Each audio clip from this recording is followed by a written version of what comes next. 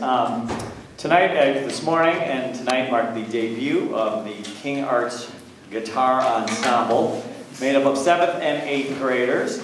We're going to sing a song by Chicago's very own staple singers. Um, Freedom Highway was written in 1965, right around the time of the Civil Rights Movement. I think its lyrics and title um, are pretty evident.